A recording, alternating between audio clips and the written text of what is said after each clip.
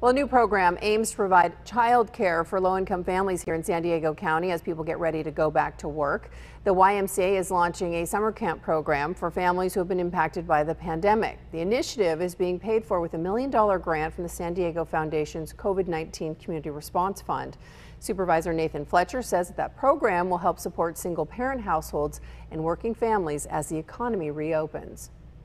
As a parent, uh, I understand how incredibly difficult it is uh, for parents to be able to go back to work without viable child care options. Uh, at a time when our schools are closed and there are limited resources available for child care as we begin the gradual process of opening up our economy, uh, our, our, parents face significant challenges uh, in terms of how that will be a viable option. Well, San Diego County health officials eased restrictions on childcare earlier this week, clearing the way for summer camps.